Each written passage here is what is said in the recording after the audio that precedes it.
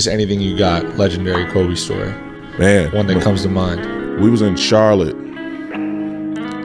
I never told you so. We was in Charlotte and we was in the huddle, and he was like, uh, the game was tied. It was only like four seconds, three seconds on the shot clock, and um, you know, Rudy T is like drawing up all type of shit on the board, and he swiped it off again. And he Kobe said, "Fuck that, just give me the ball right here." And uh, he was like, "Whoever want to take the ball out will be part of history." and uh, Lamar was like, "I want to be part of I go history." grab the ball. All right, give me the ball. threw that shit in, man. Kobe hit the shot, bloused this game. It was just like, I was like, I looked at him. He was just like, like winked his eye in the moment, like, yo, just whoever want to be a part of history, just throw the ball in. That shit's over. But that was that was him. Like that was Best just three who he players of all was, time. And Best three players of Yeah. all time. Yeah. OG was different. Uh, man. Was Michael different. Jordan, uh, uh, Dr. J, Larry Bird. That is tough. You give me three. I know. Oh my God, three. Uh, uh, yeah, Larry Bird, Dr. J, Michael Jordan.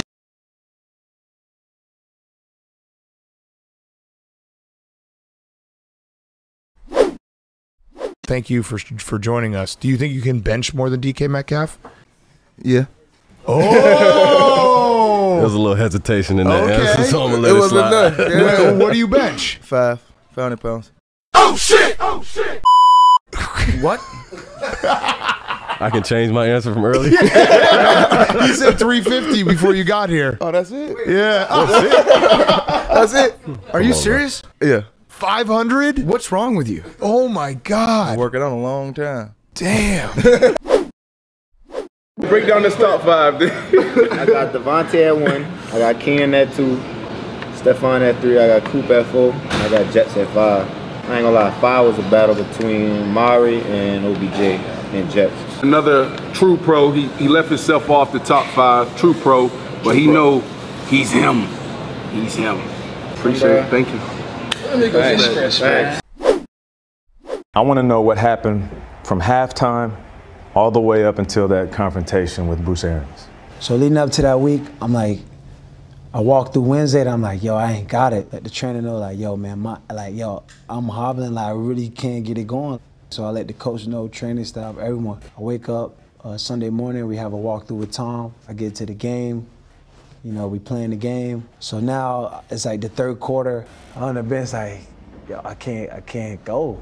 And I see the coach, like he looked back, like he, like he, you know, he came to me. So I'm thinking maybe he gonna come and ask me like, yo, what it is. He came like, could you go? I'm like, nah, I can't go. So he like, yo, get the out of here. You, you done.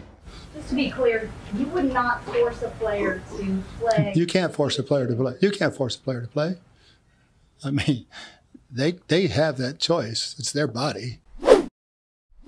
So it's Sunday night football, right? I remember I'm chewing again. So I remember the play, and I'm just seeing the ball in the air, and it's something I've seen hundreds of times. Same spin, same thing I practice. He started grabbing me. I use his momentum, throw him off. To catch it with my the one hand The catch. one hand catch was born on Sunday night.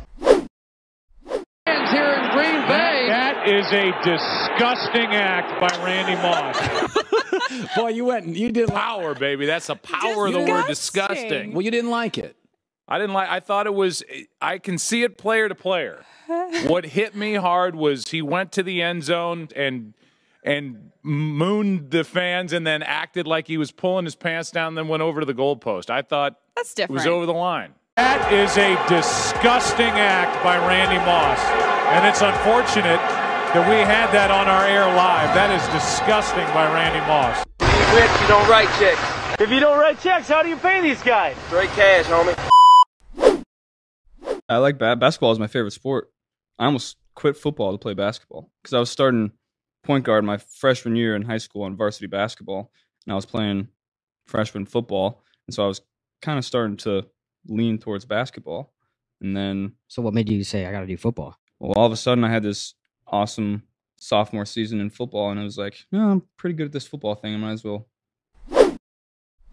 the the first time I went to the Star, like I said, it had nothing to do with it had nothing to do with Dallas. It had nothing to do with Emmitt Smith. And again, I, I've I've asked people to go back and watch the game. The first time it was cool, I did it. I was giving thanks to God for for, for what I did. Um, I had kind of like the the day before, uh, two days before, um, I realized we were on the field. You know, we, the day before we, a couple days before we play the game, we Yeah. go, we practice on that field, and so we broke down the huddle. And our receivers, we just happened to be in the middle of the star, so I just got creative. I'm like, oh man, if I score tomorrow, I'm gonna come right here. So that's what I did. So the second time when I went to the star, that was really kind of out of retaliation, but the reason I did that, it had nothing to do with Emmitt Smith. It was because, and the reason George T came and, and hit me was because I blocked him through, probably through the back of the end zone. He didn't make the play. He was mad. He was upset. I'm serious. Once the ball got kicked, I'm locked in on the jumbotron. I'm watching the structure of it break down, and it has got my attention. Yeah. And I'm looking at, oh man, I'm walking at it and I'm looking. And I'm in my mind, I'm thinking he's going up their sideline because the Jumbotron picture is backwards. I didn't realize I was in danger, man, until I saw myself on the Jumbotron. Hey, dude, no joke. Um, I saw myself on the Jumbotron. I dodged Jacoby because I saw myself Who got the strongest arm? Tua or Pat Mahomes? Tua or Patrick Mahomes? Obviously, like I'm, I'm gonna go with one five as the, the strongest arm, but as far as accuracy wise, I'm going with Tua all day. So which one would you rather have? The deep ball where you got to scramble around the field to try to go find it? Or do you want that accuracy to hit you right in the bread basket on the run? I wanted to hit me right in the bread basket, just like I did in the Buffalo Bills game, and take it seventy. And the rest is history. And again, this is not a shot at anybody. Right. This is just stuff that had to be said. It right? needed to be said, It needed let's to be said.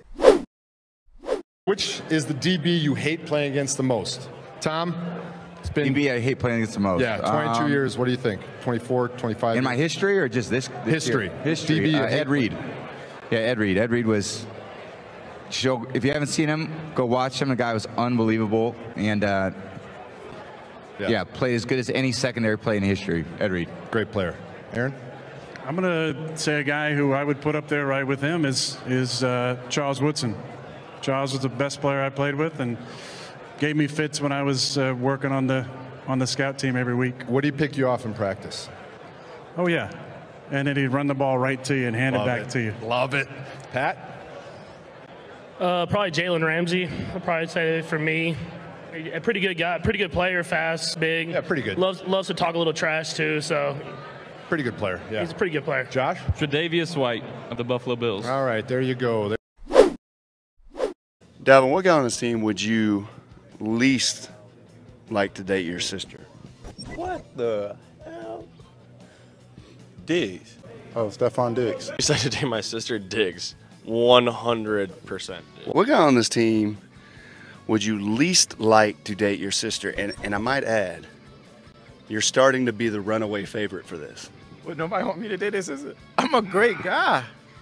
I'm actually a great guy. There's, there's actually seems to be a few guys that don't think that. Feel differently about me? Yeah. They just don't know me well enough. That's what it is. It's the Week 12, Saints at Rams. 429 in the second quarter, second and seven on the Saints seven. What happens? Oh, Josh Reynolds touchdown off schedule play versus three man rush. You're absolutely Are right. you kidding me? You're unbelievable. This is Sean McVay's time in Washington. Oh, no. So we're like bringing it. it back to 2015, Week Seven. Bucks at Skins. Yep. Second and seven on the Tampa Bay 24. 58 seconds left in the fourth quarter. Jamison Crowder wheel route down the right sideline. Jamison Crowder wheel route down the right sideline, set up the first down, and then how did that drive end? Jordan Reed touchdown and a four by one individual ISO slant. And what meme was that game? You like that? He's good. He's real good. Check out the brain on Sean. amazing. taunting, man. I it's something I just had to do. Um, when we played him earlier, you know, Hill went off on us. He backflipped in front of my face, gave me the peace sign. So it was only right that I gave him the peace sign right back to him. At this moment, it, it felt amazing to be able to do that. Not even gonna lie.